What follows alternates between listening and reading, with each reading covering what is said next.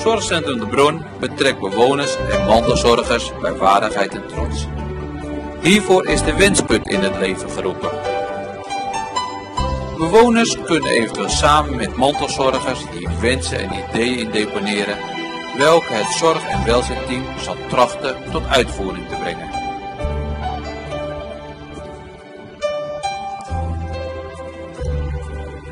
Ideeën die bewoners al hebben gegeven zijn onder andere de tuin achter bij de bron om te bouwen naar een doel- en een beleeftuin.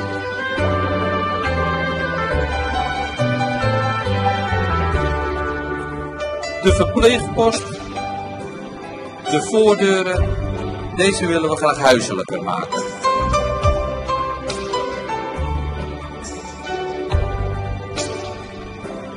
Verder is er een wens om doe- en beleefplekjes te creëren op de begane grond en eerste verdieping van de bron.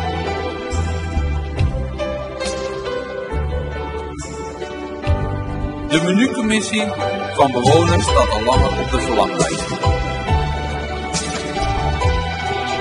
Mocht u eens met familie of vrijwilligers willen fietsen, meld u zich dan aan bij de receptie van de bron.